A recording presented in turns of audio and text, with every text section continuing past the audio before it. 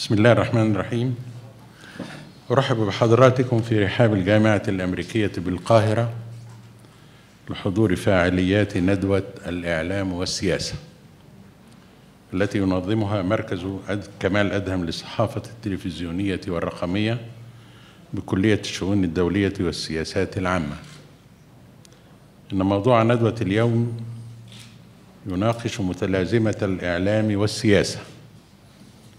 فكل منهما يؤثر في الآخر ويتأثر به بالشكل الذي يؤدي فيه الإعلام دورا سياسيا خطيرا.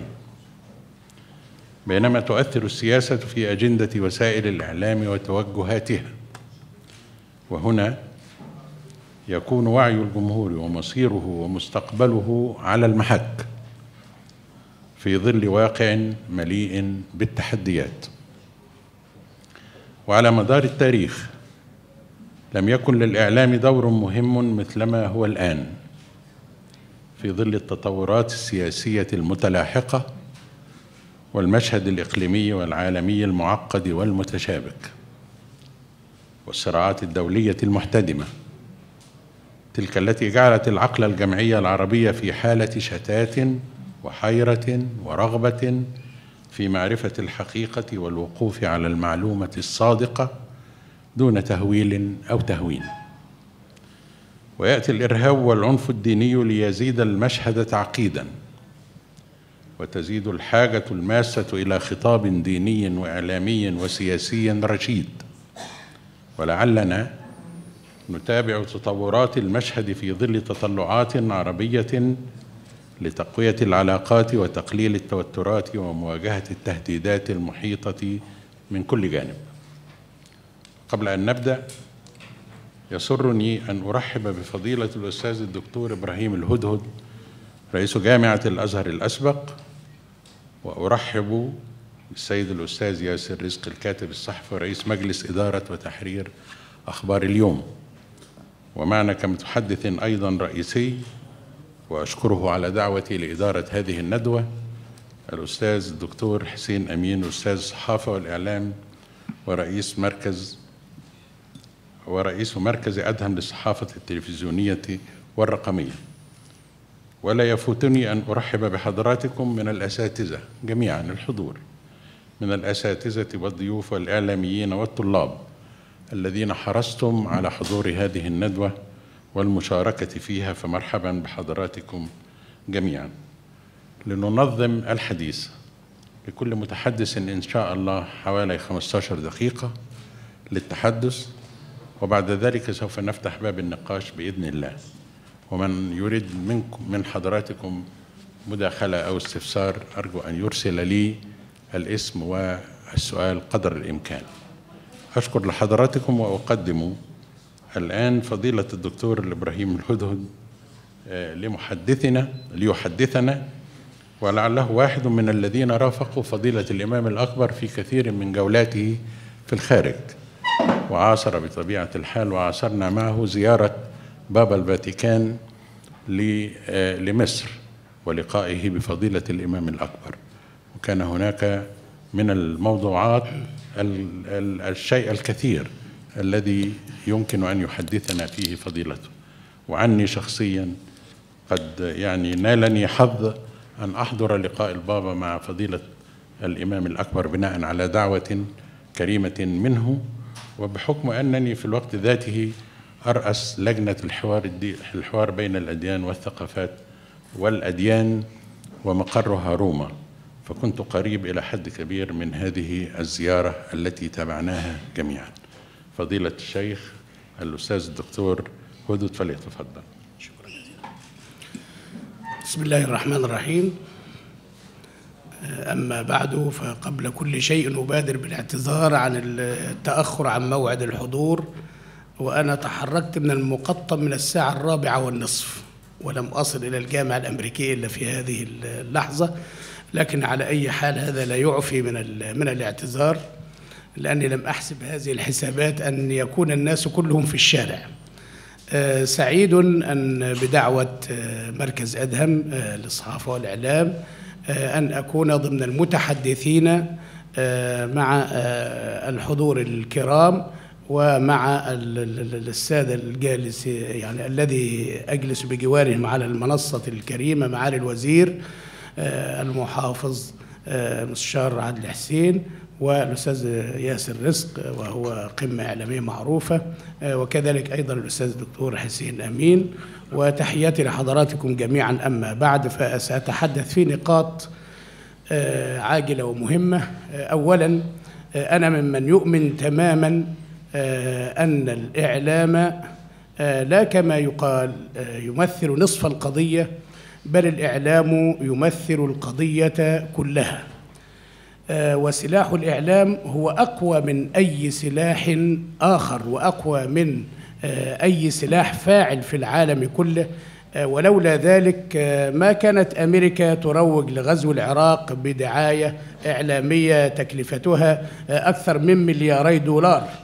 و- وإسرائيل تستخدم ال- الإعلام آه، استخداما أمثل في قضية في قضاياها وفي الترسيخ لقضاياها وتنفق مئات ال- الملايين. آه، ستكون كلمتي حول الإعلام والتطرف الديني. هل الإعلام يشجع على التطرف الديني أم يواجه التطرف الديني؟ آه، ودائما نحن قضية المصطلح آه، لأن مصطلح أي علم هو كالحدود والمعالم التي تفصل بين المعارف وبعضها. آه، فما التطرف بالتحديد؟ آه، وهل هناك استقرار على هذا المصطلح؟ وهل التطرف ظهر أيام النبي صلى الله عليه وسلم نفسه؟ نعم التطرف ظهر أيام النبي صلى الله عليه وسلم نفسه. آه، وهناك آه، من لم يعجبه تصرفات النبي صلى الله عليه وسلم وقد جاء ذلك في حديث صحيح رواه الإمام مسلم أن علي بن أبي طالب رضي الله عنه آه، أتى بذهيبة في أديم مقروض من اليمن وأعطاها لرسول الله صلى الله عليه وسلم ضمن العطايا. فقسمها رسول الله بين أربعة نفر. فقام رجل وقد جاء هذا الوصف في الحديث الصحيح قام رجل من الجالسين وصفه كالآتي. فقام رجل محلوق شعر الرأس مشمر الإزار غائر العينين مشرف الوجنتين. فقال يا محمد اتق الله واعدل. فقال له وهذا اتهام في العصمة اتهام في عصمة النبي صلى الله عليه وسلم. اتق الله واعدل قال ويحك من لم يعدل إذا لم يعدل رسول الله. يعني حتى ما قالوش من يعدل إذا لم يعدل محمد. يعني عايز يفكروا إن أنت بالشكل ده بتطعن في آه، أسس أو أساس من أسس النبوة. الشرط أن يكون معصوما. وعلى الرغم من ذلك لم يستمع الرجل ودي بتعطينا فكرة إن المتطرف لا يقبل الحوار. دي من أول نقطة لأنه حتى ما قبلش الحوار مع النبي ذاته صلى الله عليه وسلم وده في عصر النبوة. فالرجل ولا مقفيا يعني انصرف حتى ما سمعش أي حوار. فقام خالد بن الوليد فقال يا رسول الله دعني فلأضرب عنقه. فقال له آه، رسول الله صلى الله عليه وسلم يا خالد وما يدريك لعله أن يكون يصلي. فقال له يا رسول الله كم من مصل بلسانه وليس في قلبه شيء؟ ودي القضية الصعبة جدا اللي إحنا بنعاني منها. إن تولى الأمثال الحكم على الأمثال. وده من آيات التطرف وأنا بوريكم حضراتكم النشأة جاية من وقتين إن من من بدايات التطرف أن يتولى المثل الحكم على مثله أنا ما يجوزش ابدا إن أنا أحكم أحكم على بواطن أحد. والإيمان مستقر في القلب فلذلك أنا لا أحكم على باطن الناس ولا يجوز للأمثال المتساوية في الإنسانية أن يحكم أحد على الآخر. فلما قال خالد له يا رسول الله كم من مصل بلسانه وليس في قلبه شيء؟ قال له إني لم أؤمر أن أشق بطون الناس. ثم آه، نبه النبي صلى الله عليه وسلم على هذه الطائفة ومتى يجوز حربها؟ فهذه الطائفة إذا اجتمعت وصارت قوة محاربة فيجب على الدول أن تحاربها. لماذا؟ لأن هذه الطائفة لا مجال للحوار معها. ولذلك الإعلام حينما يتولى هذه القضية لأن أحسن ناس استخدموا السوشيال ميديا هم داعش وغير داعش. وأنا يعني يعني يعني أنا راجل أزهري. ولكني متابع. لما أتابع على المواقع الإلكترونية أجد أن المواقع الإعلامية العربية سواء باللغة الإنجليزية أم باللغة العربية 4000 موقع منها 2700 موقع باللغة العربية و1300 موقع باللغة الإنجليزية. أجد في المقابل حسب إحصائية الاتحاد الأوروبي إن مواقع داعش الإلكترونية الإعلامية 5800 موقع.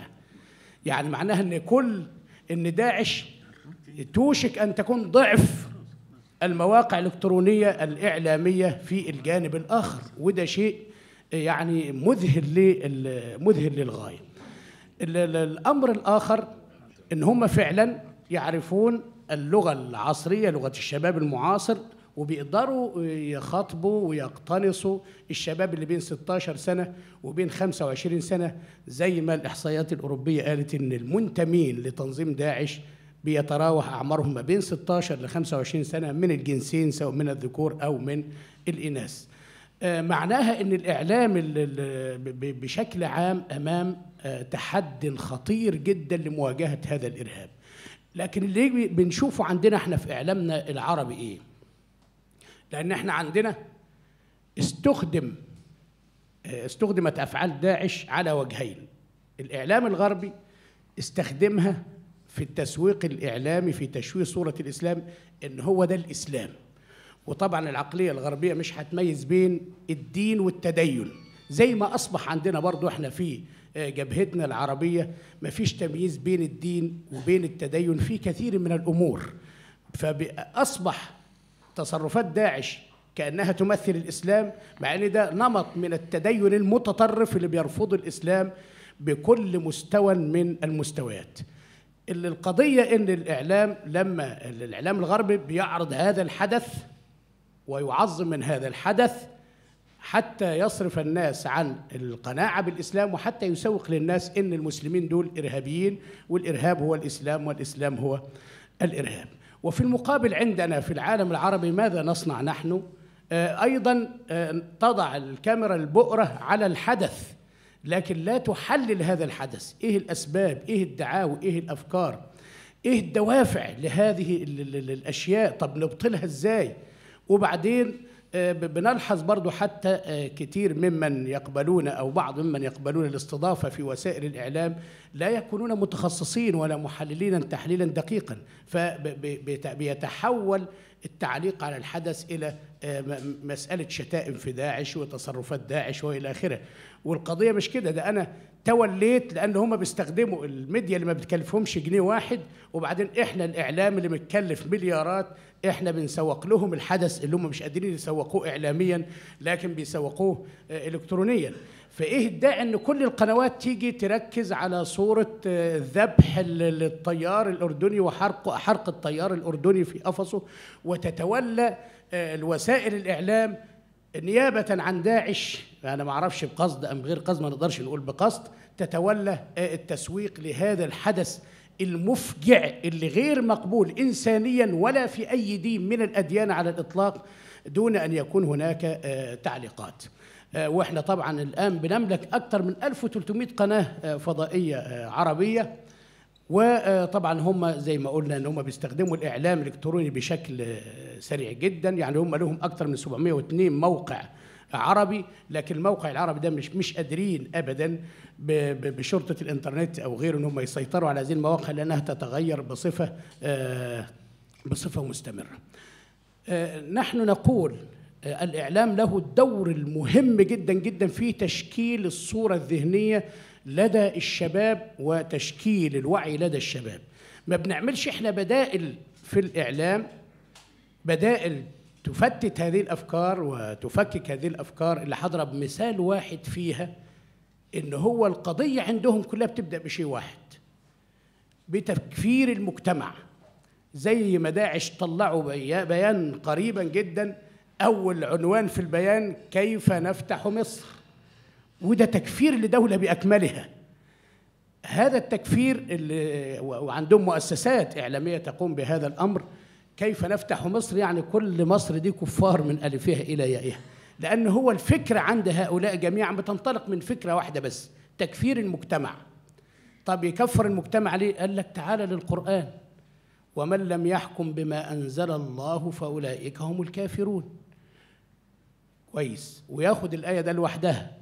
وبعدين يجي يتعامل مع المجتمع. أي مجتمع ما بيحكمش بالشريعة لأنه الأول اختزل شريعة الإسلام في خمسة في المية منها. إيه الخمسة في المية منها؟ اللي هي الحدود إقامة الحدود. والحدود ده كأنه قانون عقوبات لا أكثر ولا أقل فبيمثل في الشريعة خمسة في المية. ومع ذلك يعني تطبيقه صعب جدا جدا في الشريعة لأن النبي قال ادرأوا الحدود بالشبهات ما استطعتم. يعني كل ما جاءت شبهة أسقطت حدا. فده أمر فاختزلوا الشريعة في الخمسة في المية منها شريعة الإسلام وبدأوا يسوقوا إن مفيش حاكم بيحكم بشريعة الإسلام إذا بنص القرآن هو كافر. لو هم إحنا عرضنا أفكارهم دي وجي علماء متخصصين على وسائل الإعلام هيقدروا يردوا بشكل منطقي جدا. لأن أنا عندي ثلاث آيات جم في صفحة واحدة في سورة المائدة آية بتقول ومن لم يحكم بما أنزل الله فأولئك هم الكافرون. آية بتقول ومن لم يحكم بما أنزل الله مع الوزير لما قرب خلص حضرتك على طول مباشرة بالله أنا هعمل كده. ما خلينا بيه سيف السلطان يبقى قوي. اسكت. لا لا, لا. الميكروفون والآية اللي بعدها لو لو بصينا في المصحف في سورة المائدة نلاقيهم ثلاثة ورا بعضهم. اللي بعدهم من لم يحكم ما أنزل الله فأولئك هم الفاسقون. الأسلوب ده اسمه عندنا في لغة العرب أسلوب الشرط. يعني معناه لما يحصل الشرط يبقى يحصل الجزاء. من ذاكر نجح فهل معقول لقينا إحنا إن الشرط متحد حتى في بنيته اللغوية؟ ومن لم يحكم ما أنزل الله ومن لم يحكم ما أنزل الله ومن لم يحكم ما أنزل الله. لكن لقينا الجزاء متباين. مرة يقول فاولئك هم الكافرون ومرة يقول فاولئك هم الظالمون ومرة يقول فاولئك هم الفاسقون. ونحن جميعا نؤمن كل الأديان السماوية تؤمن أن الله عادل. فهل معقول إن المخالفة تبقى واحدة والعقاب متباين؟ ولا ما دامت المخالفة متحدة يبقى لابد أن يكون العقاب متحدا. فعشان كده بنقول لهم لابد تفهموا طبيعة اللغة العربية إن ما دام العقاب اختلف يبقى هذه المخالفة ليست واحدة. ففي واحد يقول لا ما فيش حاجة اسمها قرآن وما فيش حاجة اسمها سنة وأنا مش معترف بالكلام ده. يبقى ده له حكم. واحد تاني يقول لا والله بس أنا مش شايف إن في آه، الأمور مش ملائمة. أنا مؤمن بالقرآن وكل حاجة بس شايف إن الأمور مش ملائمة. يبقى ده له حكم. واحد تاني يقول لا هنطبق الجزء ده ونسيب الجزء ده. يبقى له حكم. لكنهم ياخدوا الآية الأولى وده منهجهم طبعا في التفكير. ومن زمان من سنة 36 هجرية مش من دلوقتي منهجهم في التفكير اقتطاع النصوص. يعني آخد نص وأسيب النصوص التانية. ودي بتدخل في مشكلات كبيرة جدا جدا جدا. يعني أنا مرة جيت ناقشت واحد بيعتنق فكر ما بقول له آه، هو ربنا بينسى ولا ما بينساش؟ قال لا ربنا كامل لا ينسى. والقرآن يقول وما كان ربك نسيا. قلت له ما القرآن بيقول نسوا الله فنسيهم. آدي الآية دي ضد الآية اللي أنت بتقولها. فتطلع من الحكاية دي إزاي. وصاحب هذا الفكر طبعا آه، لا يؤمن بحاجة اسمها المجاز في القرآن. مع إن المجاز ده في طبيعة العرب وفي طبيعتنا إحنا في طبيعتنا إحنا في الدنيا كلها في واحد يجي يقول إيه؟ والله أنا يعني هضمت الكتاب ده. واحد تاني يقول إيه؟ أنا شربت الكتاب ده. واحد تاني يقول أنا ذاكرت الكتاب ده. فكل واحد بذل جهد فعايز يعبر عن الجهد اللي بذله في الوعي بالمقرر اللي قراه فبيضطر يلجأ لأسلوب آه، غير اعتيادي أسلوب مجاز أسلوب غير نمطي انزياح عشان يقدر آه، يبلغ هذا التعبير. فقال فقال لي لا نسوا الله فنسيهم. يعني معناها تركهم. قلت له هات لي بقى قواميس اللغة العربية مش هتلاقي النسيان معناها الترك. ولكن يبقى النسيان ده مجازي. زي إيه؟ ما تكلمنيش عن عن علي أنا نسيته. طب ما أنا بقول اسمه يبقى أنا نسيته إزاي؟ يعني معناه أهملته. يعني خلاص استبعدته من حياتي استبعدته من اهتماماتي. فمعنى نسوا الله فنسيهم أي ليسوا في عناية الله ولا ضمن اهتمامات الله. يبقى تلتقي الإيه؟ الآيتان وده اللي بنسميه عندنا آه، علماء الشريعة بنسميه علم التأويل. علم التأويل يعني صرف ما يوهم ظاهره التعارض. يعني لو في آية بتعارض آية يبقى العقل هنا هو اللي إيه؟ يبقى العقل اللي هيتدخل عشان يقدر يخلي الآيات آه، مش متعارضة. هل ممكن أدي مثل تاني ولا كفاية لا، كده؟ مثل كمان طبعاً. مثل واحد بس آه، طبعا. جيت برضو سألته سؤال يعني يد الله فوق أيديهم. قال أنا أؤمن أن لله يدا. قلت له طب كويس أنا معاك. ما دام تؤمن إن ربنا ليه إيد. لأن مشكلة الكلام ده إيه؟ إن أنا لما أؤمن إن ربنا ليه إيد يبقى جه على صورتي الذهنية تصور لشكل الإله. فهل العقل المخلوق الضعيف ده هل بإمكانه وبطاقته يقدر يتصور شكل الاله إيه طبعا مش هيؤمن بدي لكن أنا قلنا ناخد الطريق الثاني السريع جدا. طيب قلت له أنا أؤمن أن الله يدا خليني معاك. طب بل يداه مبسوطتان يبقى له إيد ولا اتنين طب والسماء بنيناها بأيد كل ده آية قرآنية. يبقى له إيد ولا اتنين ولا تلاتة آمن بمين فيهم؟ طب خلينا آمن إن له ده كله. طب إيه رأيك في الآية اللي بتقول كل شيء هالك إلا وجهه يبقى يترتب عليه إن اللي أنت أثبته لله إن له إيد وله رجل وله كذا هتهلك وهيتبقى من الإله إيه؟ الوجه فقط فهل يستقيم أن يهلك بعض الإله وأن يكون هذا جزءا من عقيدتك؟ ليه؟ لأن ده اللي بنسميه إحنا عندنا الإسلام الشكلاني أو التدين الشكلاني اللي بيقف عند ظواهر النصوص لا يستبطنها. وده بيشكل أزمات كتيرة جدا جدا منها بقى نهني المسيحيين بأعيادهم ولا ما نهنيش ومنها كذا ومنها كذا. يعني معقولة يعني؟ يتزوج بواحدة مسيحية وهم الاثنين على سرير واحد وعندهم أولاد ويجي يوم العيد هيديها ظهره؟ يعني ده منطق. ما خلينا في النص القرآني العالي. النص القرآني العالي أباح هذا الكلام وأشياء من هذا القبيل كثيرة جدا.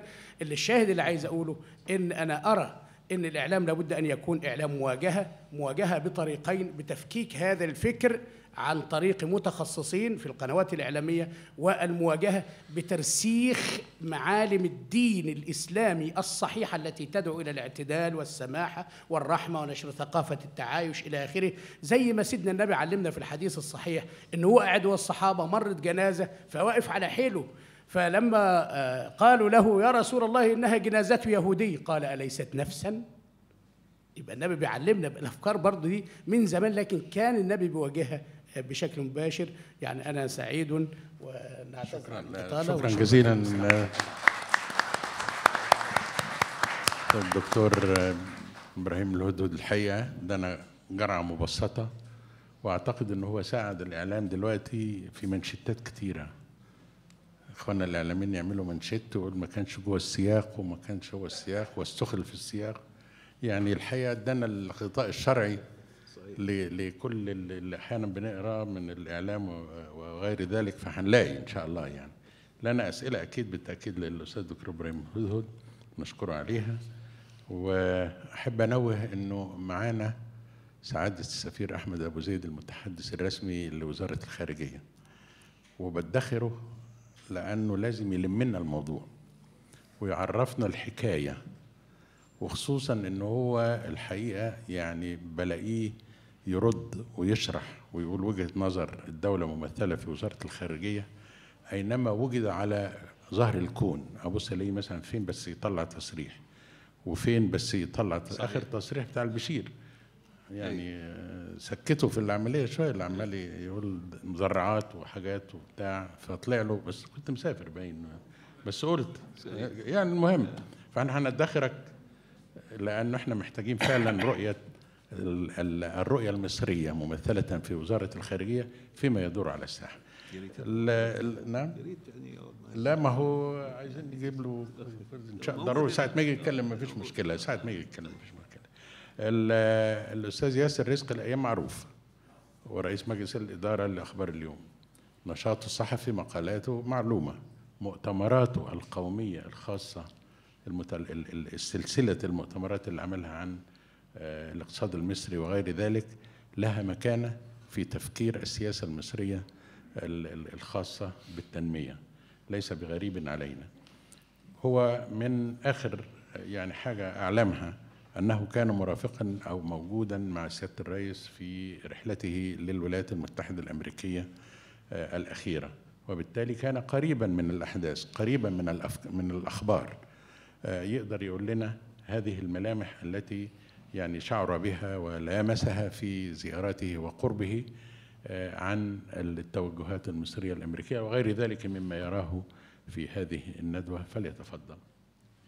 آه، بشكر السيد المستشار الجليل عادل حسين وبشكر الأساتذة الأستاذ الدكتور إبراهيم الهدهد والأستاذ الدكتور حسين أمين الاستاذ المستشار أحمد أبو زيد والحضور الكريم. أنا الحقيقة م- يعني آه، أرجو إني ما أتكلمش كتير لأن أحب أسمع أكتر. آه، الموضوع اللي المفروض أتكلم عليه على الإعلام والسياسة الخارجية. الحقيقة الإعلام آه، فيه مشكلة في تصور آه، الرأي العام لدور الإعلام. آه، خلينا نتكلم الأول على الإعلام والسياسة الخارجية. لو إحنا بنقول السياسة الخارجية هي خلينا نقول حزمة من الثوابت والأهداف والإجراءات. الهدف منها الدفاع عن مصالح الدولة الحيوية وتحقيق استراتيجياتها في إقليمها وفي مجالها الحيوي وفي نطاقات أمنها القومي. في أدوات بتحقق السياسة الخارجية. أولها هي الأداة الدبلوماسية. الأداة الدبلوماسية من خلال العلاقات الثنائية أو العلاقات متعددة الأطراف. أو على مستوى المحافل الدولية العلاقات خلينا نقول الجمعية. الجمعية في الأمم المتحدة في بنتكلم على المستوى الإقليمي في الجامعة العربية بالنسبة لنا أو في الاتحاد الإفريقي أو الاتحاد الأوروبي في حالة آه، دول أوروبا الأعضاء. في أداة أخرى هي الأداة الاقتصادية. الأداة الاقتصادية بتحقق السياسات السياسة الخارجية لدولة ما. أو تكتل من الدول أو تحالف عن طريق المساعدات سواء منح أو قروض عن طريق الاستثمارات بالضخ أو بالإقلال من الاستثمارات وعن طريق الضغوط الاقتصادية اللي بتصل في النهاية لقرارات أممية آه، بحرمان دول أو بالضغوط عليها سواء دول أو شركات تابعة ليها أو أفراد. زي ما بنشوف آه، في آه، نواحي كثيرة جدا وهناك أمثلة كثيرة على ذلك. الأداة الثالثة بتحقق السياسة الخارجية لأي دولة أو تحالف هي الأداة العسكرية يلجأ إليها في التصور آه، بعد فشل الأداتين السابقتين اللي هي الأداة الدبلوماسية أو الأداة الاقتصادية في تحقيق السياسة الخارجية. أيضا في التصورات ال- يعني ده ربما من آه، ما بعد الحرب العالمية الثانية الأداة الإعلامية. الأداة الإعلامية هي من أكثر الأدوات ظهورا وفاعلية خاصة بعد حرب الخليج ال- الأولى تحديدا لما شفنا حرب على الهواء.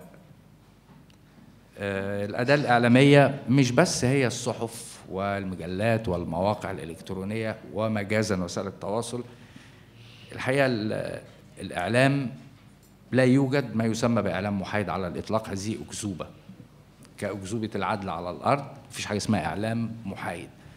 بنقدر نقول إعلام يتوخى الموضوعية أكثر من غيره أو إعلام بيتصف بالاحترام أو بالمهنية. مفيش إعلام محايد بدليل أن في الحرب العالمية الثانية على سبيل المثال كبرى الصحف الرصينة والمحترمة في بريطانيا وفي الولايات المتحدة لم تكن تتناول آه، أنباء الحرب العالمية الثانية على أنها آه، محايدة بين الحلفاء والمحور. و- وكذلك في أي مكان آه، لا يمكن تصور حتى وأنا راجل صحفي وبدعو للموضوعيه ان في حالة وقوع معركة حربية أو في حالة شيء مع إسرائيل إن أنا أبقى محايد. فبيتخذ هنا بتصل الأمور إلى في الدعاية أحد أشكال أخرى من الإعلام والحرب النفسية. هناك أيضا وظيفة الترفيه ودي أحد وظائف الإعلام. على سبيل المثال الولايات المتحدة قبل الحرب العالمية الأولى ابتدت تتغلغل في العالم بالسينما بهوليوود في وظيفة الترفيه ابتدت تروج وعلى مدار السنوات ال- الماضية لأسلوب الحياة الأمريكي. آه، بعد في عصر الحرب الباردة ابتدت يبقى في مقارنات وبنشوف بين الحياة في المعسكر الشرقي وحياة نقيض لها الديمقراطية والرفاهيه اللي موجودة ونقيض لها في المعسكر الشرقي. وده جزء من تحقيق السياسة الخارجية للدولة. شفناها في الأفلام في مسلسلات التلفزيون حتى في الموسيقى والغناء وفي اللوحات الفنية آه، بنتكلم على فكرة السوبرمان فكرة رامبو قبل حرب الخليج. آه، ال- الأمريكي القادر على أن يقاتل قتالا يشبه قتال كتيبة وهو بمفرده. دي أشكال بتؤدي في الآخر آه، لإظهار صورة بتخدم في النهاية السياسة الخارجية بتخدم في الحرب النفسية. بترسم صورة آه، للدولة مبالغ فيها لكنها في النهاية بتؤدي لخدمة أهداف السياسة الخارجية لهذه الدولة. لو بنشوف مصر مصر لم تحتل أي دولة عربية على الإطلاق. إنما مصر احتلت الوجدان العربي واحتلت المشاعر العربية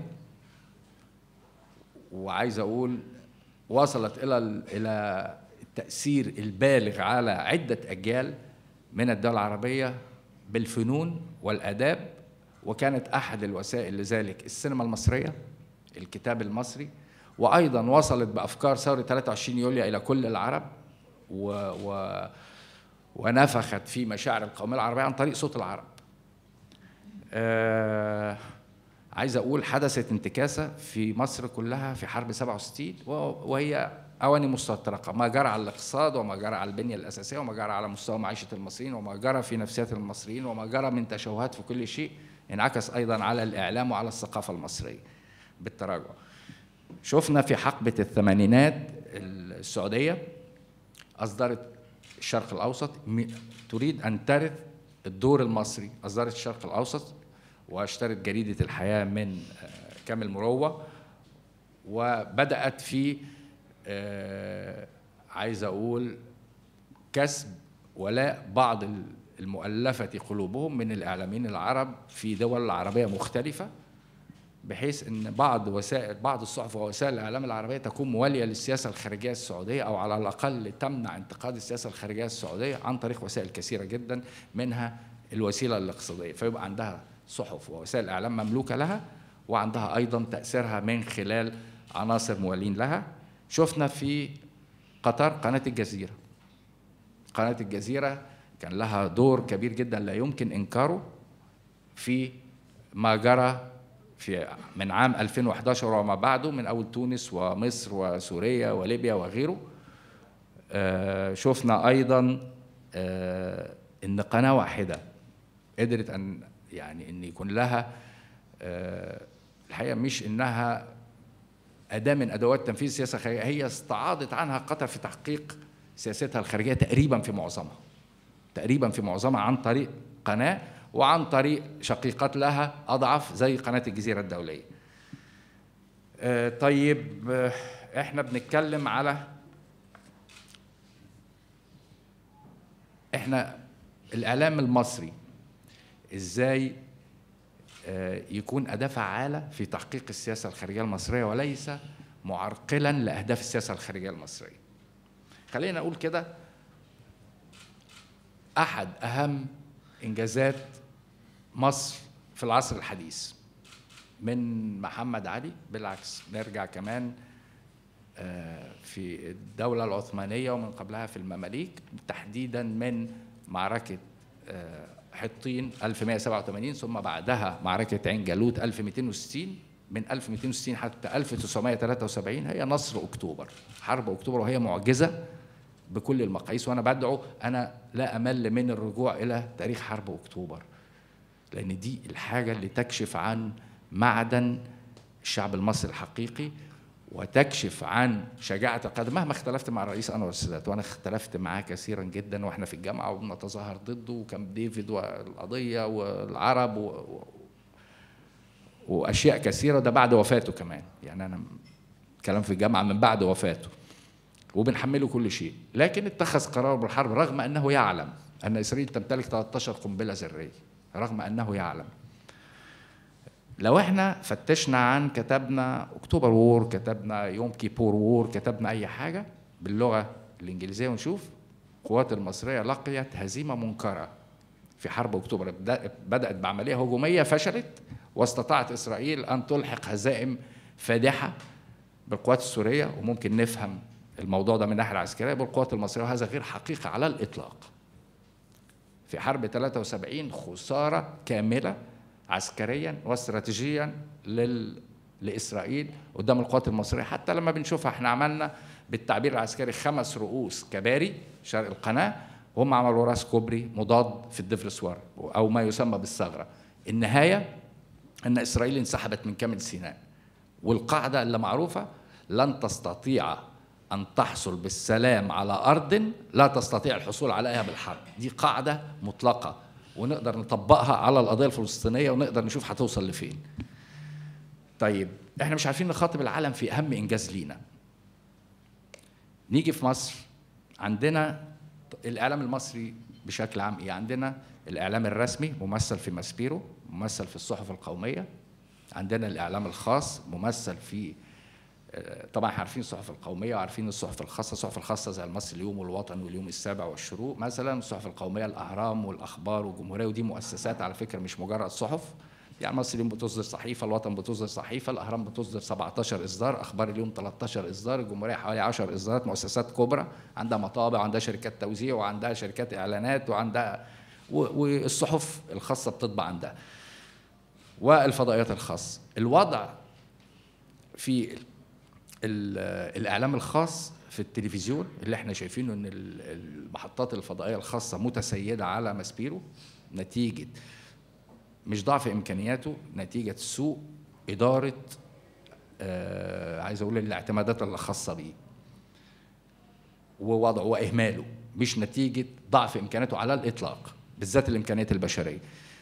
العكس في المؤسسات الصحفية القومية في المقارنة مع الصحف الخاصة ما فيش وجه المقارنة تقريبا سواء من حيث الانتشار أو من حيث القوة الاقتصادية أو غيره. عندنا أيضا ال- الصحف ال- عندنا المواقع الإخبارية للاثنين وعندنا الحسابات للصحف أو لمحطات التلفزيون آه، على وسائل التواصل الاجتماعي. كان عندنا أو لسه موجود المحاولات إزاي نخاطب الخارج. أنا قلت صوت العرب محطة عربية ضعفت. بعد حرب 67 نتيجة ضعف المصداقية. آه، كان المحك ليها في التعبير عن حرب 67 فقدت ثقة المواطن العربي والمواطن المصري اولهم يعني. آه، عندنا أيضا الاذاعات الموجهة. عندنا اذاعات كانت بتصل إلى إفريقيا باللغات واللهجات الإفريقية ال- الموجودة في كل الدول الأفريقية. آه، ضعفت. وكان عندنا النايل تي في محطة مش موجودة على الكيبل بره يعني مطلع محطة باللغة الإنجليزية بنشوفها إحنا. وعندنا النايل نيوز محطة ثبت ضعفها بعد قناة العربية وقبلها قناة الجزيرة ثم قناة سكاي نيوز وأهملت. عندنا زي ما قلت مفيش صحيفة مصرية عربية دولية. مفيش طبعات موجودة في نفس اللحظة غير الطبعات نفس الجورنال. يعني الأخبار مش مفروض إن أنا أقرأ الأخبار أو الأهرام هنا زي ما هقراها في فرانكفورت في الجالية العربية أو في لندن أو بقراها في العاصمة العربية لازم بتتغير. يعني حتى الاهتمام ابراز أخبار. السبب الحقيقي كان آه، بعض الزملاء نتيجة الظروف الاقتصادية آه، يعني ما كانش فيه اهتمام بيها. لكن في محاولات دلوقتي. في محاولات وفي دراسات لإنشاء محطة مصرية باللغة ال- الإنجليزية. كذلك بالمحطة تكون على مستوى العالم العربي باللغة العربية. وفي دراسات لصحف كبرى إنها يكون لها طبعات دولية. آه، مش إنك أنت بتواجه الإعلام السعودي إنما مصر تستحق هذا. آه، عايز أقول وسائل التواصل ال- الاجتماعي آه، القائم على يعني فضيلة الدكتور اتكلم على بيشتغلوا زي هم عقائديين اللي بيرد عليه موظفين. العقائدي يكسب الموظف على طول. العقائدي يكسب الموظف. فخلينا نتعامل معاها بأسلوب العمليات العسكرية. في تعبير اسمه العمليات الإعلامية. زي ما بنتكلم في حرب اقتصادية في حرب دبلوماسية بتصل لطرد السفراء وقطع العلاقات في حرب اقتصادية بتصل لإلغاء اتفاقيات التبادل التجاري وغيرها وفي حرب عسكرية مفهومة بالقتال وفي حرب إعلامية عمليات. حرب يعني عمليات. لابد أن تدار بعمليات إيجابية وعمليات سلبية. إزاي تبادر وإزاي ترد. آه، أعتقد إن في جهد آه، لابد من القيام به ثم نرجع تاني. كل دي نوافذ. وسائل الإعلام هي نوافذ. حضرتك بتتفرج أو الناس بتشوفك. من خلال هذه النافذة. يعني أنت بتشوف الغير يا الناس بتشوفك. آه، في تعبير شهير إن الإعلام هو مرآة المجتمع. مش صحيح. الإعلام هو لوح زجاجي بنشوف فيه المرآة بتخلي الجيب بتاعي اللي هو على الشمال تخليه على اليمين بتعكس تعكس الشكل. إنما زجاجي حضرتك بقى تلونه بلون وردي أو تلونه بلون رمادي بس في الآخر لا يغير من حقيقة الصورة. بتلون وما تغيرش من حقيقة الصورة. خلينا نقول عندنا جزء مهم جدا في التعبير عن السياسة الخارجية المصرية هو هيئة الاستعلامات أصابها الضعف وعدم الاهتمام. لأن أوكل أمرها آه، لشخصيات المفروض أن تشعر بأن آه، ترقية لها هي شعرت بأن ده إبعاد لها فاللي جاي محبط لا يمكن أن يقوم بأي إنجاز بالإضافة لما جرى من بعد 15 خ- آه، 25 يناير.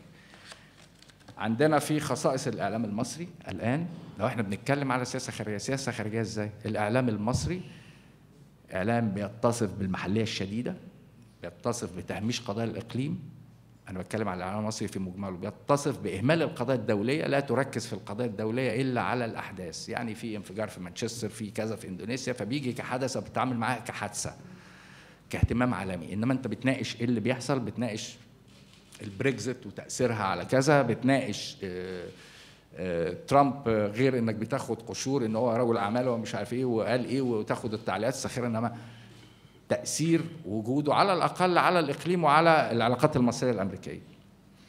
آه عايز أقول إن ده أدى في النهاية في برضه عشان ما لومش الإعلام لوحده لازم تعرف إن إحنا بنتكلم على السياسة الخارجية إن في ثوابت وفي إجراءات وفي آه، أهداف لازم الناس اللي هتتكلم على الكلام ده تكون تعرفه إنما في قدر كبير من التعتيم بين أجهزة الدولة بتتعامل معها كأسرار. فنتيجة التعليم مع السفيره أنا كنت بتكلم إن أيضا فيما يتعلق بالسياسة الخارجية عايز تعرف والله السودان ولا هتلاقي ما أنت لما ما تتكلمش مش بتكلم على حضرتك بس حضرتك وفي رئاسة الجمهورية وفي أجهزة أخرى وإلا هتلاقي أنت ربما تميل للبيان اللي طالع من الخارجية وكذلك تعبيرات الرئيس تقريبا نفس المعنى التهدئة والحفاظ على السودان وتخطي ال- اللي عايز يسحبنا إليه الرئيس البشير. بما يؤثر بعلاقات تاريخية لا يمكن تصور فصمها بين مصر والسودان. فممكن الناس ما تعرفش تطلع في التلفزيونات فنسمع سباب و... وسب يعني سب وقذف و... وكلام يعني مع احترامي كلام يعني لا مش لاقي الحقيقة ليه وصف يعني يليق به يدمر العلاقات دي على الإطلاق. كذلك بالنسبة للدول الدول العربية شديده الحساسية فيما يخرج عنها من مصر. ربما أكثر من دول كثيرة جدا تتقبل من غير إنما مصر تبقى حاجة تانية وده نتيجة لمخزون كبير ومكونات كثيرة جدا صنعت مكانة مصر على مدى سنوات طويلة وداخل فيها داخل فيها أشياء كثيرة جدا. آه، أنا مش عايز أطول بقول ناتج التعليم هو إن حضرتك يا بتجتهد تعتيم نقص في المعلومات ونقص في التوجهات بتاع السياسة الخارجية المصرية. لو أنا عايز أخدم السياسة الخارجية المصرية وأنا ما بقولش الصحف القومية هي ال- الوطنية تريد أن تخدم السياسة والصحف الخاصة لأ ولا ان التلفزيون المصري والإعلام الخاص لأ. الناس عايزة تعرف عشان تخدم بلدها. بيؤدي لاجتهادات الاجتهادات بت- بتؤدي لعشوائية وبيؤدي في النهاية لتعبيرات مضادة عن السياسة الخارجية. فلا الرأي العام بيعرف ولا في ال- ال- الخارجي ال- ال- حتى في المسؤولين على مستوى دول آه، في الإقليم آه، في ب- بتشعر بإن السياسة الخارجية المصرية مرتبكة لأن أداة التعبير عنها فيها عشوائية وفيها ارتباك. آه، أنا يعني لو هتكلم على حضرتك بتتكلم على زيارة الرئيس للولايات المتحدة الرئيس قابل ترامب لأول مرة في سبتمبر الماضي على هامش اجتماعات الجمعية العامة للأمم المتحدة التقى في- نفس اليوم كان أعتقد الساعة 7 مساء بالسيدة هيلاري كلينتون والتقى بعدها بالمرشح الجمهوري دونالد ترامب. كان المرشح الجمهوري طلب لقاء الرئيس وسارعت هيلاري كلينتون بطلب بعد ما لقت المسألة. فرق الشخصيتين إن هيلاري طلعت آه، اختزلت كل اللقاء في قضية آية حجازي وفي حقوق الإنسان في مصر وهذا الكلام لم يحتل غير خمس دقائق بالكثير طبقا للي عرفته يعني ودي first hand information يعني. من زمن ساعة في اللقاء ومعظم اللقاء كان ثناء على سياسة الرئيس عبد الفتاح السيسي وال milestones اللي عملها في في في مصر في خلال سنتين وأشياء كثيرة جدا شالت الكلام ده. هي دخلت من البدروم بالعربية بتاعتها وطلعت في الأسانسير وخرجت من البدروم. دونالد ترامب ده اللي اعتبارات امنيه وكل ده ممكن فهمه. دونالد ترامب دخل من البهو الرئيسي من الحديقة بتاعة الفندق على اللوبي على الأسانسير طلع فوق. وأول حاجة I like this guy وابتدى يتكلم معاه. وكلام مش جديد إحنا سمعنا منه مبكرا في الحملة الثناء على الموقف من آه، موقف النظام المصري نظام 30 يونيو من مكافحة الإرهاب وموقفه من تجديد الخطاب الديني وهي دولة مصرية فيها الأزهر وفيها كذا ومحاولات لي رغم الظروف الصعبة لإحداث تنمية اقتصادية خرج. ما جرى في اللقاء؟ قالوا بالظبط في تصريحاته. كان في تقدير عندنا من آه، الحقيقة من المؤسسة الدبلوماسية المصرية من عدد معتبر من السفراء المحترمين وفي رئاسة الجمهورية وفي أجهزة أخرى ترامب هو اللي هيفوز لأسباب. عندهم حسابات تقديراتهم. هذه التقديرات كانت صديقة رغم كده تحفظنا في التعبير عن آه، لأن إحنا مش طرف إحنا مش داخلين انتخابات. وبعدين آه، على كل حال أظن إن كان في اتصالات مستمرة مع حملة ترامب وكانت إن أول اتصال آه، من آه، رئيس دولة أجنبي بالرئيس المنتخب كان من الرئيس عبد الفتاح السيسي ودعاه لزيارة آه، الولايات المتحدة وتم ترتيب الزيارة. بنشوفها بالشكل الذي يؤدي إلى نجاحها. كان ممكن يسافر في أي وقت إنما إحنا برضو مش م... إحنا مش رايحين نسلم. إحنا عندنا مصالح وعندنا أشياء نريد الحفاظ عليها وعندنا مواقف لا نريد أن يتم التعبير عنها مش بتاعتنا. قد نجد مواقف آه، بالطريقة اللي إحنا بنشوفها في وسائل الإعلام آه، لا تخدم السياسة الخارجية المصرية وتؤثر عليها. فكان في لابد من أشياء معينة يتم الاتفاق عليها. وجرى اللقاء وأظنه أنا يعني وإحنا شفناه أظنه كان لقاء بالغ النجاح. لكن في نفس الوقت يجب عدم اختزال العلاقة المصرية الأمريكية في العلاقة مع إدارة ترامب. يجب عدم اختصارها في الجمهوريين لأن موجود الجمهوريين الكونجرس بعد كده ممكن بعد سنتين يبقى الديمقراطيين هم يوم الاغلبيه آه، لو بنتكلم على الإقليم إحنا عندنا اختلافات ممكن نصطدم في أشياء كثيرة جدا. أهمها حتى لو تراجع التركيز عليها دلوقتي هي التعهد بنقل السفارة الأمريكية من تل أبيب للقدس وده وارد في أي شيء. آه، رغم بقول إنها رجعت أنا بنسمع مايك بنس بيتكلم عليها نائب الرئيس يعني آه، أيضا في تسوية القضية الفلسطينية إحنا شايفين في زخم لكن في الآخر هي مش مسألة تسوية هي مسألة الحل إزاي على أي أسس. آه، أنا أحب أسمع من حضراتكم وهكتفي بالإطالة وأرجو إن ما أكونش أزعجت حضرتك شكرا جزيلا. شكرا جزيلا أستاذ ياسر. ولأنه إعلامي والندوة إعلام فانتم ملاحظين اديت له سبعة ثمان دقائق زيادة. ده حقه. شيء طبيعي. ولأني لست من ال من ال speakers اللي هم المفترض أتكلم يعني. لكن على الأقل باعتباري بدير الندوة يعني أخد لي خمس دقائق أنا كده منحة. يعني كده أول حاجة. الإعلام والسلطة. مشكلة. يمكن بحفز حضراتكم في الأسئلة والحاجات دي عشان دايما ده موضوع بيثار دائما في في الأحاديث. وأنا شخصيا سبب اهتمامي بالإعلام ويمكن الدكتور حسين عشان قال لي تعالى دير الندوة يمكن هو سمع إن أنا كنت رئيس محكمة الجنايات المختص بقضايا الصحافة والإعلام فترة طويلة. ونظرت حوالي 35 قضية إعلام وصحافة مرفوعة على الاعلاميين يعني. قضيت بالبراءة في 34 وحدة وواحدة حكم إدانة غيابي ولما عمل معارضة أديت له براءة. يبقى كده يعني ال 35 رمضان كريم. رمضان كريم. كده. ليه؟ لأنه هي المهنة الوحيدة اللي تخرج عن قواعد أسرار المهنة بمعنى الطبيب لازم يحافظ على سر مريضه. المحامي سر العميل بتاعه المهندس الخبير إلى إلا الصحفي. يحافظ على سر مين؟ سر مصدره آه. لكن ده شغلته فضحي ولا مؤاخذة في التعبير. يفضح. شغل شغلته يفضح. شغلته ينتهك الأسرار يطلعها لي ويقولها للناس اللي بيخبي. وذلك طلع بقى قوانين الحصول على المعلومات وما أعرفش إيه ولا اخره والا أنا أدعبس وأطلع المعلومة. يعني حكاية يعني ده الاعلام ملوش في الأسرار بتاع بقية ال- المهن والحرف. وإلا بقى أمال هيعمل إيه؟ يعني سبق. ما هيعمل إيه هو يعني؟ إن كان على تخد... بتاع تغطية الأخبار المندوبين الصغيرين دول هم ماشيين في الشارع وفي المياه بتاع يجيب خبر ويجيبه. يعني مش شغلانة يعني في العمل. فدي مهنة مهنة ولذلك هي بتصطدم بالسلطة. ايا كانت هذه السلطة.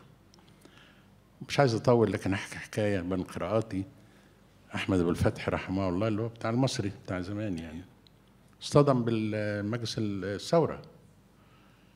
طبعا إخواننا عارفين التاريخ ده كله يعني. كان يكتب الثورة من 52 ل 56 حكم عسكري مفيش دستور. أول دستور 56 ففي أربع سنين كله أوامر عسكرية. يعني. فكان يكتب في المصر اليوم يعني يضايقهم فين الدستور؟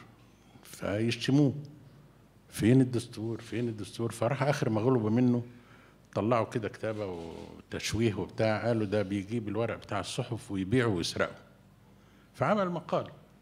أيوه بجيب الورق وبسرقه وببيعه بس فين الدستور؟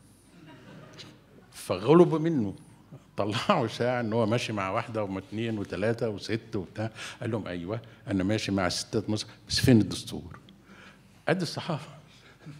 الصحافة لها منطق ولذلك لازم استيعابها يعني. أعتقد دي مقدمة بقى للأستاذ الدكتور حسين إنه يقول لنا رأيه في كل هذا بوصفه مديرا للمركز اللي استضاف هذه الندوة. وكل الأمور الشائكة الخاصة بالإعلام. فليتفضل أشكر سيادتك. أولا آه، مساء الخير.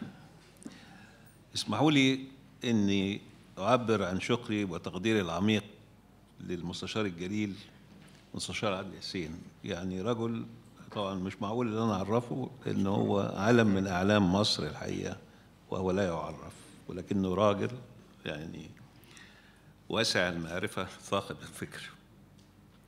وعندنا يعني شواهد كتيرة عشان كده إحنا بنستغله الحقيقة. شكرا. في وكل مرة بيبهرني النهاردة يعني آه، المسألة الخاصة بالتعريف بتاع سيادتك من ناحية الصحفيين فضحي استغلها.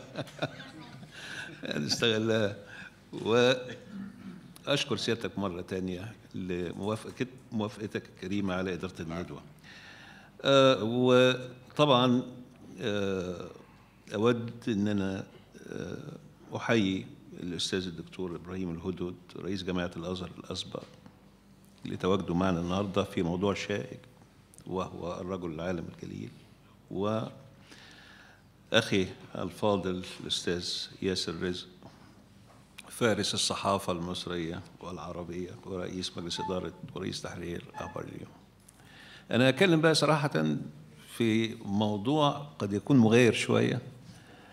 آه بس برضو قبل ما انسى بحب إن أنا أحيي آه، الطلبة الدوليين من جامعة الأزهر اللي هم آه، برحب بيكم الجامعة الأمريكية بالقاهرة اللي جايين من دول جنوب أفريقيا والهند وإندونيسيا وتايلاند وتشاد وماليزيا. أهلا بيكم في الجامعة الأمريكية واهلا بيكم. في الأزهر الشريف واهلا بيكم في مصر.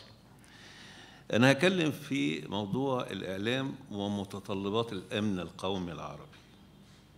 وهو موضوع برضه هيتكامل مع النظرة الخاصة بالإعلام والتطرف الديني الدولي والإعلام والسياسة الخارجية المصرية. لأن الإشكالية الإعلام ومتطلبات الأمن القومي بتمثل تحدي كبير قدامنا دلوقتي.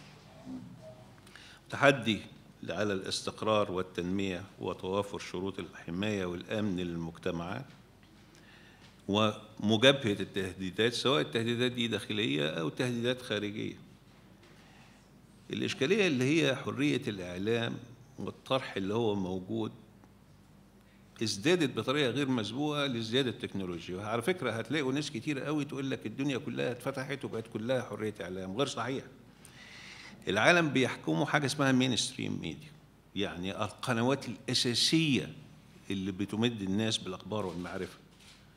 غير غير الرافد الرئيسي اللي موجود ده كل الحاجات التانية دي ممكن تتم يعني تمتعوا بما تريدون تريدون أن تتمتعوا به. لأن هو من ناحيته هو متمكن. ده قناة أساسية في العالم عولمية بتمد العالم وآخرين بالمعلومات. إحنا مش هنرجع بقى للمقولة القديمة الخاصة بالتدفق المعلوماتي لأن ال platform الدنيا اتغيرت دلوقتي بقى تحكمها حاجتين ال mainstream media اللي موجودة وتوالد القنوات اللي هي بتشكلها ال mainstream media. يعني إحنا شفنا خريطة من القنوات الأساسية في العالم خريطة بس بما تمتلكه هنلاقي فيها ممتلكات كثيرة جدا. ده موضوع. الموضوع الثاني إن ابتدت الدنيا تتغير وإحنا الحقيقة بنحكمها بمنظور تقليدي مش عايز أقول متخلف لأن في حاجة اسمها صحافة المواطنة والمواطن الصحفي دلوقتي كل واحد بيكتب اللي هو عايزه وأول ما تكتب حاجة بتبقى جلوبال على طول العالم كله بيشوفها. يعني حرية اللي أنا أدي كومنتات وأكتب مواضيع دي موجودة كلنا بنتعامل معاها كل يوم. إنما بنقول اللي هو الناس اللي عندها نسق قيمي حتى لو متغير شوية. ده موضوع إنما الناس اللي هي بتاخد الطرح ده وتستغله في إمرار آه، رسائل تؤدد الاستقرار ومواضيع تختص بهدم الدولة و آه، تجنيد للشباب كل دي مواضيع مرفوضة لازم إحنا نتعامل معاها لأن هي هتزداد مش هتقل. كويس؟ طيب يعني الحاجات دي ال- ال- القنوات الجديدة العابرة للثقافات والحدود والقوميات بنشوفها على أساس إن هي مسألة بقت طبيعية بالنسبة لنا. إنترنت بقت عظم شأنها كل يوم ما عندناش فيها أجهزة تنظيم. ولا عندنا تنظيم إعلامي سواء على المستوى الوطني إلا أخيرا في الهيئات الجديدة أو تنظيم على المستوى العربي. وعندنا تجارب الحقيقة يعني آه، مش عايز أتكلم فيها دلوقتي. إنما كان في محاولات جادة اللي إحنا نعمل تنظيم للإعلام العربي وفشلت هذه المحاولات. الحاجة الأخيرة اللي هي موجودة هي إن هناك جماعات متطرفة طبعا وإرهابية طامحة وتهدد أمن الدول. إحنا يا جماعة كل مرة بنتكلم في الحريات كاننا قاعدين في أمريكا في إنجلترا في يعني أو في اسكندن- إسكندنافيا في آه، كوبنهاجن مثلا أو أوسلو. أنا الحقيقة بستغرب قوي مع التهديدات الداخلية اللي موجودة. في جماعات متطرفة وجماعات إرهابية بتستهدف أمن الوطن وبنشوف أحداث داميه كل يوم وتهديدات برضو من دول مجاورة وتصريحات رؤساء دول حتى أخيرا يعني بمسائل الحقيقة خطيرة. فهل ده كله لا يعني شيء من ناحية تنظيم الإعلام اللي موجود؟ أو إن سقوف الحريات اللي هي اتسعت بصورة غير مسبوقة أصبحت هذه السقوف في إطار الزمن اللي إحنا بنعيشه دلوقتي زمن الإرهاب مهترئه لدرجة إن قد تكون هناك قرارات بزوال هذه السقوف. يعني إحنا الحريات اللي موجودة وهقول لحضراتكم أمثلة دلوقتي عشان بس تقول تعرفوا إحنا واقفين منين في العالم. إن الحريات اللي موجودة وبنشوفها على برامج وفضائيات وبتجيلنا لغاية عندنا وفي بيوتنا وهي عابرة للحدود والقوميات وجاي لنا بالثقافات بتاعتنا وبلغتنا إلا إنه مفيش أي تنظيم. بيراعي المسألة دي. طيب أما نشوف بقى التجارب اللي موجودة في حرية الإعلام والأمن القومي اللي موجود. التخوفات اللي موجودة هقولها لحضراتكم. تشجيع انتشار. اولا التهديد الامن القومي. أنا مش هعرف لكم حاجة اكاديميا يعني عشان ما تزودش عشان ما نطلع من الإطار ال- الأكاديمي ال- الجاف ده. إنما التخوف في هدم الاستقرار من خلال وسائل الإعلام. اللي إحنا بنتعامل معاه اللي هي قدرة الإعلام سواء داخلي أو خارجي في التأثير على الهوية والتأثير على القيم والمعتق- والمعتقدات بشكل سلبي وهذا يشكل خطرا وتهديدا. إحنا اتكلمنا قبل كده وكتير في المحاضرات بتاعتنا على حروب الجيل الرابع وإزاي الجيل الرابع إحنا بن- بن- بنعايشه إحنا داخلين فيه أهو والخامس بعد كده اللي جاي. في اختراقات بتتمثل في تشجيع انتشار الأفكار والقيم السائدة المضادة للدولة لتكون قوة ضاغطة ومؤثرة في المجتمع. اثنين تأثير على الرأي العام والترويج بإطلاق الشائعات والإفتراءات بقصد أو بدون قصد. ثلاثة تفتيت حالة التماسك والاستقرار الوطني والاجتماعي بهدف خلق عامل الضعف واليأس لدى الإرادة الشعبية. أربعة التأثير السلبي على الوحدة الوطنية والإضعاف منها من خلال إثارة فتن ودي حاجة بتحصل كتير وبلابل وقضايا لشغل الرأي العام. طيب إحنا هنبص بقى لمسألة القوانين والمعاهدات والمواثيق وأنا جنبيه مدرسة الحقيقة مش قادر إن أنا إيه أقول حاجات كتيرة لحسن هو هيمتحني فيها. آه، آه، اخضاع الحق في الحريات اللي إحنا حرية الإعلام وحريه التعبير والرأي. في قيود عشان حماية الأمن القومي على فكرة لما أتكلم في الأمن القومي حتى في مسائل يقول له بس بلاش الكلمات الفضفاضة دي بس الواحد أنا لسه جاي من أمريكا وفي صراع ما بين القيادة السياسية والوسائل الإعلام وحرب كتير جدا بنتكلم في مسائل الأمن القومي يعني في المنتديات الإعلامية الموجودة. فآجي هنا ألاقي إن الكلمة تعبر عن كلمة فضفاضة يعني ملهاش معنى لا ليها معنى وليها مئة ألف معنى كمان المسائل دي لابد اللي إحنا ننظر فيها لأن ظهر في الفقرة الثالثة من المادة 19 من الميثاق الدولي الخاص بالحقوق المدنية والسياسية والمادة 10 من الاتفاقية الأوروبية على أن الحريات تنطوي على واجبات ومسؤوليات ويشير النص إلى جواز وضع قيود على حرية التعبير. يعني دول المواثيق غير دولية اللي ماشية بيها الدول كلها. وكذلك في الفقرة 3 من المادة 13 من الاتفاقية الأمريكية التي نصت على قوانين لها علاقة بحرية التعبير والصحافة. وهقول لكم على القانون اللي هو كان اسمه باتريوت وبقى اسمه ال Information Act الموجود في الولايات المتحدة الأمريكية. طيب الاتحاد الأوروبي وضع قيود على المسألة دي بحيث إنه يكون في نص في المادة 10 فقرة 2 إن التدخل عشان الأمن القومي لوضع تدابير تدابير ضرورية للمجتمع الديمقراطي والسعي لتحقيق هدف مشروع في النظام. في ألمانيا من خلال البند خمسة من القانون الأساسي بتقيد حرية الرأي والتعبير في الصحافة في منع خطابات الكراهية والخطابات اللي هي العرق العرقية. في روسيا ومجلس النواب هناك في البرلمان عنده قوانين كتيرة بتعزز رقابة السلطات على المدونات الإلكترونية وتزيد العقوبة على المشاركة في تأجيج أي حد بيؤجج الاضطرابات الجماعية. والهند في دستورها في حرية التعبير نصت المادة 19 من الدستور الهندي على أن القيود موجودة اشتملت على عدم المساس بوحدة الهند وأمنها القومي. والنظام العام. ودي هنلاقيها في حتت كتيرة برضه. في الصين عندي صفحة صفحة كاملة على علاقة الإعلام بالأمن القومي في الصين وإنه في حظر على حاجات كتيرة جدا موجودة. أنتوا عارفين حضراتكم يعني في حظر على مواقع الشبكات الاجتماعية زي تويتر وفيسبوك وسناب شات. حاجات كتيرة قوي زائد طبعا عندهم جيش إلكتروني آه، بيحارب بيرصد ويحارب أي مواقع بتهاجم الصين. ال- النص في باكستان من قانون مكافحة الإرهاب بتحظر بتحظر المادة 11 دبليو في قانون مكافحة الإرهاب على نشر وتوزيع أي مواد إعلامية تحرض على الكراهية آه، ولابد آه، وفي إدانة الأعمال الإرهابية طبعا وإحنا عارفين الحاجات دي حصلت. في كولومبيا عندهم نص المشروع جديد للمعلوماتية بينص على عدم المساس بالأمن القومي.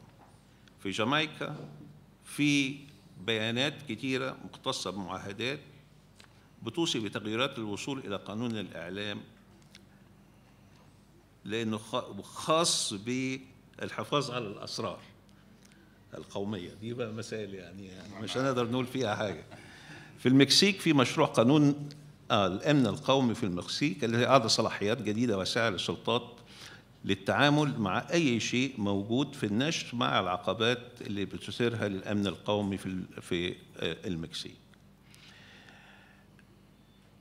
في البرازيل هنسيب الحاجات دي هنخش بقى قانون الحرية في الولايات المتحدة الأمريكية هو قانون الأمريكي الصادر في 2 يونيو 2015 وعاد شكل عدة أحكام قانون باتريوت الأساسي وهو قانون بيفرض القيود على الجزء الأكبر من المعلومات الخاصة بالاتصالات والتنصت على المواطنين من قبل طبعا وكالات الاستخبارات وكذلك وكالة الأمن القومي الأمريكي. يعني البلاد اللي يعني البلاد اللي فيها حريات كبيرة قوي ما زالت بتحتفظ بأمنها القومي وما هواش لعبة المسألة آه الامن القومي العربي النهارده بدون تنظيم جاد هيتعرض لهزات لأن الحرية مسؤولة والحريات ما هياش حريات مطلقة وما هياش أرض خصبة للمتطرفين أو الإرهابيين. إحنا عايزين نرجع تاني للوسطية اللي موجودة ونقدر اللي إحنا نتعامل بيها. طبعا عندنا آه، أستاذنا الدكتور ممكن يفيدنا في إزاي اللي إحنا نوصل لنسق يعني متوازن. أعتقد إن مؤسسة اعتدال اللي هي ممكن تكون شبكة من الإدارات الفكرية سواء على المستوى آه، الإقليمي أو على المستوى الدولي. وتكون مركز ضخم لمسائل ليس فقط رصد ولكن أيضا آه، طرح مبادرات. هذه المبادرات تتخذ آه، مناحي جديدة وأفكار جديدة في التعامل مع المعلومات والإعلام والرسائل خاصة إن الوقت الآن بعد ما يسمى بالربيع العربي ما زال المشهد يعج بالاضطرابات السياسية والأزمات الاقتصادية والصراعات الأهلية والهجمات الإرهابية بل والحروب الخارجية. فالجدل قائم حتى الآن ولا محالة من الدفاع عن الأمن القومي العربي واستقراره. فله منا ومنكم أولوية قصوى. أشكركم والسلام شكرا جزيلا. شكرا جزيلا أستاذ الدكتور حسين أمين. اللي فتح لنا مجالات أخرى الحقيقة. آه، هو أثار مسألتين في يعني متداولتين لكن يعني أرددهم على مسامع حضراتكم اللي هو الأسرار والأمن القومي. مشكلة إن تناولها الإعلام أو تناول الإعلام الشيء يقول لك ده سر. أو يمس الأمن القومي. فما هي الأسرار في العصر الحالي؟ ما هو مستودع السر مفهومه إيه دلوقتي وما هو الأمن القومي ومفهومه حاليا؟ حاليا الأمر بيختلف عن سنوات سابقة بالتأكيد. أظن حضراتكم لسه مش وأنتم ماشيين في الشارع أو على كوبري أو حاجة بتلاقوا يافطة لسه عجيبة قوي ممنوع الاقتراب والتصوير. حيطة كده. وإحنا ماشيين جنبيها برضو والعربيات جنبها وكله ممنوع الاقتراب والتصوير. كوبري وعليه يافطة قد كده ممنوع الاقتراب والتصوير. ده أيام ما كان دي الكباري مسألة مهمة عشان الجيش أو سور خاص بمعسكر الجيش في قلب الشارع يعني. ممنوع الاقتراب والتصوير. يعني أول ما أشوف يافطه اطلع اجري مثلا ولا أعمل إيه بالظبط؟ يعني و يعني إيه بقى؟ طبعا أصبح دلوقتي دي من الحاجات اللي يعني ما عادتش بت تجرم يعني ولا ولا حاجة تصوير إيه وبتاع إيه. إذا كان ال- الناس اللي فوق دول عمالين بيصوروا كل دقيقة العالم كله الكرة الأرضية كلها بدقائقها وبشوارعها ده إحنا دلوقتي لما بنجيب خريطة لمدينة وأنا محافظ عشان أشوف التعديات اللي حصلت عندي كل يوم كنت أقول لهم هاتوا الخرائط بتاع جوجل كل يوم. أو ما ألاقي مبنى طلع هنا مبنى ما هو المفتشين الزراعيين ممكن يفوت ياخد رشوة ياخد حاجة. إنما الخرايط اللي بتجيني من القمر الصناعي بتعرفني إن في هنا فين؟ لم يعد هناك سر. وبعدين الأمن القومي كان منصب زمان قوي على على الحاجات العسكرية. وكان على الحاجات العسكرية العجيبة. لو جه واحد كده اتمسك على أساس إنه جاسوس لإنه بلغ العدو إن إحنا عندنا 100 دبابة. يعني إيه؟ هو إحنا بنصنع الدبابه إحنا بنشتري الدبابات بصفقات مصر اتعاقدت على 100 دبابة كده. خبر يطلع كده تصريح يطلع كده. اتعاقدنا على كام طيارة رافال وكام بتاع. الله يبقى ده سر بقى ولا العدد بقى سر؟ ما عادش سر مؤكد. اما بيطلع كل مدة كده يقولوا الجيش الفلاني من نمرة كام في العالم. إحنا مش عارف كام 12 الأربعة زدنا علينا. بقى جابوا منين؟ ما هو جابوا ده من البيانات والاستعدادات والمش عارف الإمكانيات والتدريبات وال الله. إذا المستودع السر علي ما عادش زي زمان إن الواحد يعمل. إحنا كنا زمان لما بنحقق قضية خاصة بالمنظمات وال- ال- ال- اللي غير القانونية والى آخره. كان زمان بيبقى في قواعد كده لازم نسأل علشان نقول للمحكمة ال- ال- القضية دي مظبوطة والمنظمة دي غير قانونية وغير شرعية عشان نترافع ضدهم. كان لازم نقول آه، مين هم الأعضاء نعرف آه، بيدفعوا اشتراكات قد إيه آه، اسم المنظمة إيه وبعدين بيحلفوا يمين. دي كانت الشروط الأساسية لقوام منظمة معينة. دلوقتي مفيش الكلام ده. دلوقتي تيار بتاع يعني القاعدة داعش. ما حد شاف البغدادي ولا حد شاف فلان الفلاني ده هو خلاص آمن بالفكر وبيشتغل. فالدنيا اتغيرت. مفهوم أمن قومي مستوى الأسرار البيانات إلى آخره. أعتقد دي تحتاج إلى دراسات ودراسات وأفكار وفهم. علشان ولذلك تركت هذه الأمور عشان الدكتور حسين بيقول قانون والى اخره تركت هذه الأمور وتفسير النصوص الخاصة بهذه المسائل لتقدير القاضي. هي مسألة مختلفة يوم عن التاني واحد عن التاني ما نقدرش. ومن هنا بنقع في إشكالية من هو القاضي الذي يعرف ويفهم ويقدر كل هذه الأمور عشان يحكم في القضايا دي. بالتأكيد. وعشان نفتح باب المناقشة أقول لكم على حكاية لطيفة. في كان في قبل حرب 73 كان في مظاهرات طلاب وفي الجامعة فكان بيتقبض على الطلاب اللي بيعملوا مظاهرات وبنحبسهم. وأنا كنت رئيس نيابة أمن الدولة. فبنروح عشان نجدد الحبس. فبنروح نطالب بتجديد الحبس. الله يرحمه ال- ال- المحامي الشيوعي المعروف اللي كان والده رئيس وزراء نبيل هلالي نبيل هلالي كان بيحضر مع الناس دي لأنها كلها يساريين ويعني يسار جديد والشيوعيين أحيانا والى اخره رئيس المحكمة فالأستاذ نبيل الهلالي بيترافع بيقول له هو ما ك- الطلبة اللي قدامك دي ما كانتش في منظمة غير مشروعة. دي في الأسر اللي في الكلية والمشرف عليها الأستاذ الدكتور فلان. يقول له آه يعني خلية. يقول له لا مش خلية ده أسرة. خلاص لبست في ذهن القاضي إنه في أسرة يعني خلية من خلايا يقول له لا دي أسرة بتجتمع كل شوية. قال له أيوه يعني تجتمع ترت يقول له دي أسرة تبع الجامعة الأستاذ الفلاني اللي مشرف. قال يقول له رئيس الخليه هبل خلاص.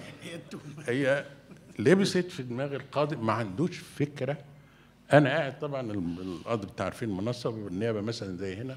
أنا قلت خلاص أنا ضمنت التجديد خلاص. يعني انتهينا. وقاعد أضحك. وابص لنبيل الهلال الله يرحمه وهو يبص لي يعني اشرح له قلت له أنا ما أنا عايزه يتحبس. يعني وقد كان طلع يقول نعمل فيكم إيه؟ ندعي. قلت له لا ابدا. أنت كنا باب الخلق. قلت له ما عندك طلعنا بره وهو أصدقاء يعني. قلت له بص السيدة زينب النحادي والحسين النحادي روحوا كنسوا علينا السيدة زينب طلع. هذه الأمور لابد يا إخوانا تكون دلوقتي تحت الدراسة والتوعية والتفكير كل مؤسسات البلاد لازم خلاص المفاهيم دي كلها اتغيرت وانتهت وهي إلى آخره شيء كبير. ما أعرفش سيادة السفير لو تشرفنا كده لا لازم تقول لها حاجة أصل مش ممكن نعثر على المتحدث الرسمي لوزارة الخارجية دون أن يعني يصوب لنا ال- ال- ال- المشهد ويقول لنا حاجة. اتفضل. بس أنا هتكلم. اتفضل يعني اولا أنا بشكر حضراتكم جدا على الدعوة الكريمة النهارده وال والمشاركة. أنا الحقيقة كنت جاي مستمع مش جاي إن أنا أتكلم. وفي وجود طبعا القامات الكبيرة. آه، يعني لو تسمحوا لي هقول بعض الخواطر البسيطة حول ال- الموضوعات أو المحاور الثلاثه اللي إحنا اتكلمنا فيها النهارده. المحور الخاص بالتطرف والإعلام أو علاقة الإعلام بالتطرف خليني أوضح الأول برضو أنا مش إعلامي ومش متخصص في مجال الإعلام. أنا بتعامل مع الإعلام ولكن أنا مانيش آه، متخصص أو آه، آه، يعني محترف في هذا المجال. هو الحقيقة أنا مقتنع بداية أن الإعلام مهنة وهي مهنة آه، لابد من احترافها كي نتمكن من استخدام هذه الأداة بالشكل المؤثر اللي يحقق المصلحة منه. وأي تصور غير مخالف لذلك أو تصور أنها آه، يمكن بمجرد المشاعر الإيجابية أو الطيبة أو الانفعالات أو حب الوطن إن إحنا نستطيع إن إحنا آه، يعني ننتج إعلاما قادرا على التأثير أو قادرا على توجيه الرسائل المطلوبة يبقى إحنا بنخدع نفسنا. آه، المحور الخاص بالتطرف آه، واضح جدا إنه داعش وسيادتك اتكلمت عن داعش وتنظيم داعش إنه استطاع إن هو يعني يمتلك تلك الخبرة أو القدرة على استخدام الأداة الإعلامية. استطاع أن هو يصدر الخوف والرعب في نفوس وفي عقول ووجدان كل من يطلع على هذه الأفلام والصور وخلافه. وبالتالي الرسالة هنا كانت واضحة والهدف كان واضح هو راح لناس محترفة واستخدمها لتحقيق الهدف اللي هو بيسعى إليه وهو تصدير الخوف والرعب في نفوس البشر. آه، الحقيقة في مراكز كتير النهارده بتتكلم على موضوع مكافحة الفكر المتطرف والإرهاب أو فكرة ال- ال- المقاومة الفكرية للإرهاب. ومصر من الدول الرائدة في هذا المجال دلوقتي لأنها بتمتلك الأزهر الشريف ودار الإفتاء المصرية وتلك القدرة الناعمة على القدرة الناعمة أو القدرة الفكرية التي تستطيع أن تواجه الفكر بفكر آخر وبطرح فكري واضح. طبعا أنا سعيد جدا بالجهد اللي بيقوم بيه الأزهر ودار الإفتاء مرصد الأزهر الشريف ومرصد دار الإفتاء. النهارده بنتكلم عن فوق الأربعة أو خمسة مليون متابع ليهم على شبكات التواصل الاجتماعي. مجلات إلكترونية بتصدر باللغات الست أو سبع لغات. محتاجين إن إحنا نوظف ده أكتر. ما أعتقدش إن في نسبة كبيرة من الشعب المصري ناهيك عن الخارج على دراية بالجهد اللي بيبذل في هذا الموضوع هذا يحتاج إلى قدرة إعلامية كبيرة لنشر الجهد اللي بيقوم به الأزهر الشريف ودار الإفتاء في مقاومة الفكر المتطرف. اولا بداية من رصد ال- ال- ال- الفتاوى التكفيرية والرد عليها وضحض تلك الفتاوى.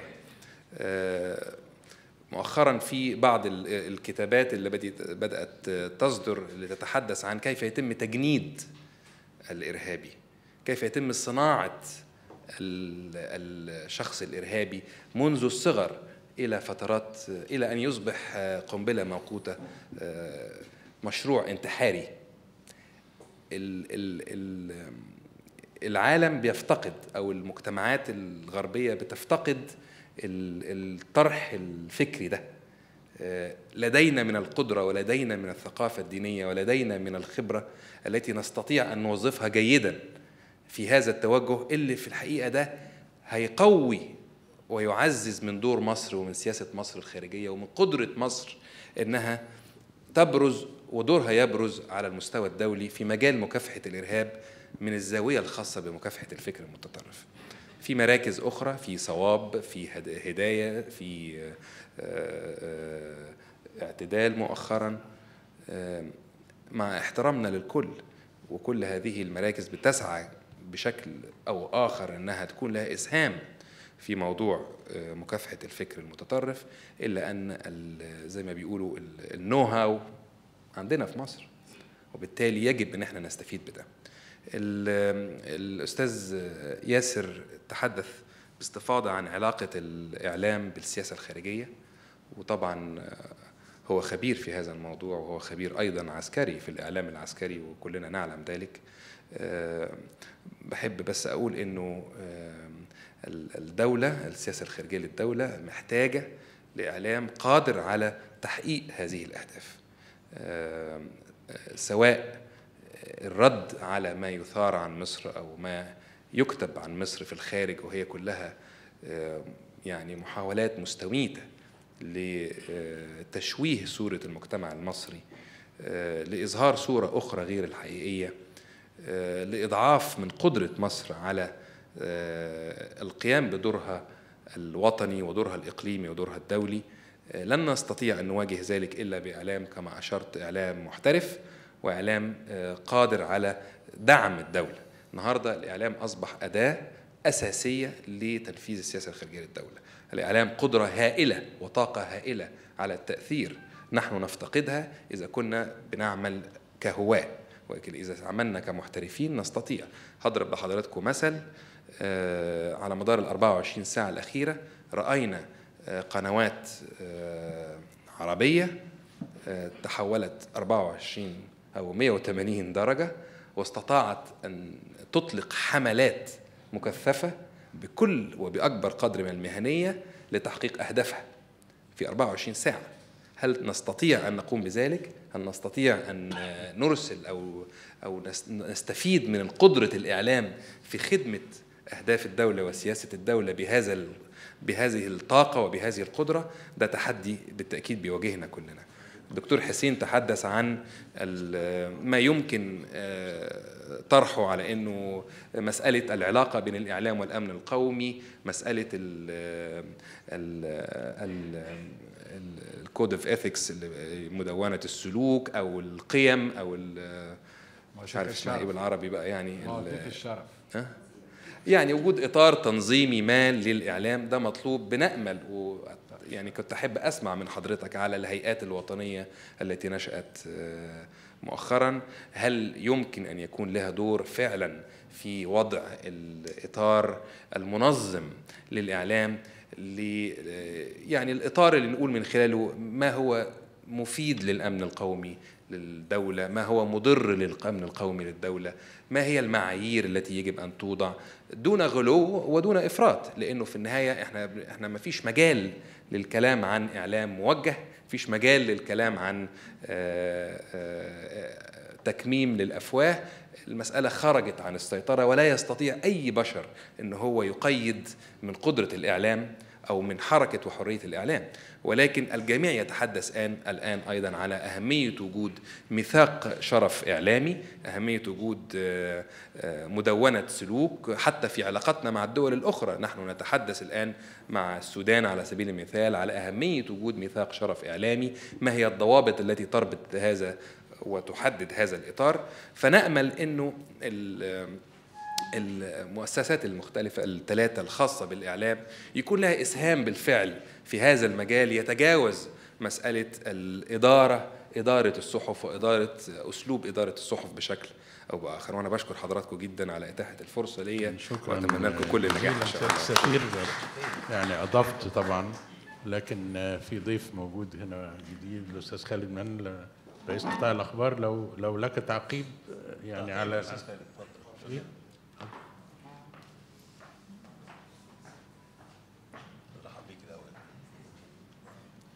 تقول لنا بس اختار الأخبار بيعمل إيه؟ تقول لنا حضرتك بتاع الأخبار. اتفضل اتفضل مساء الخير يا مستر بيه.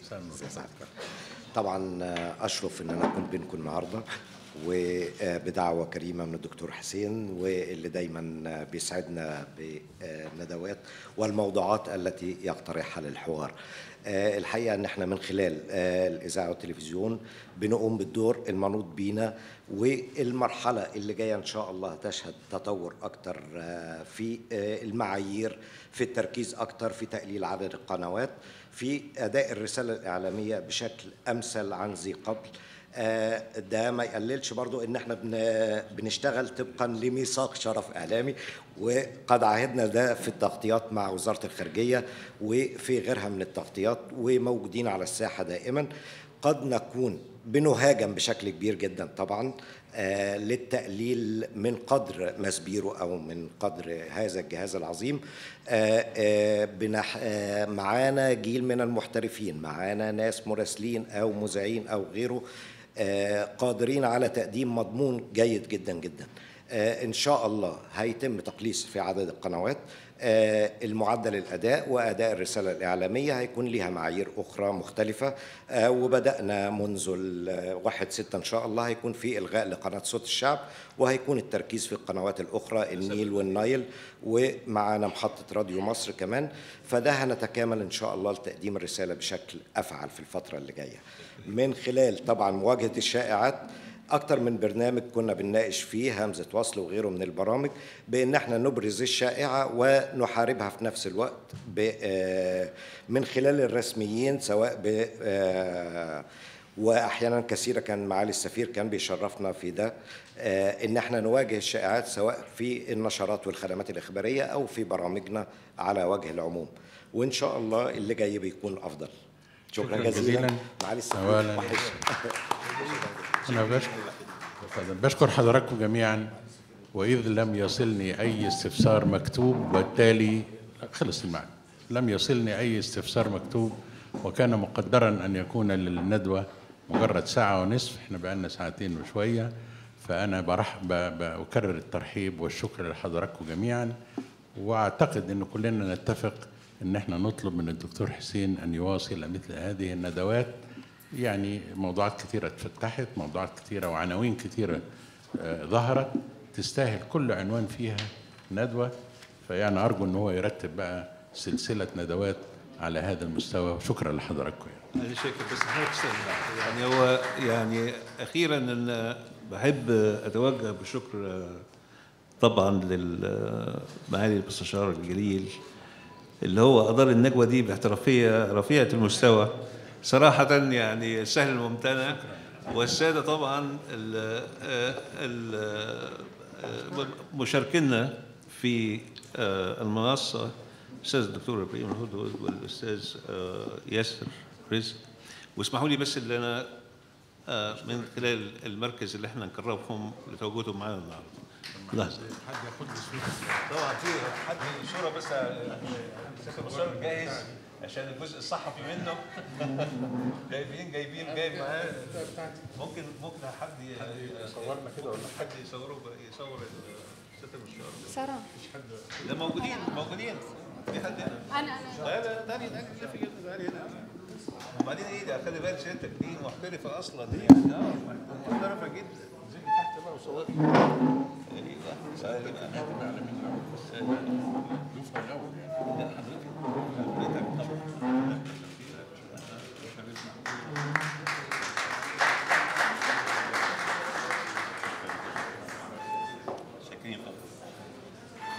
معالي الدكتور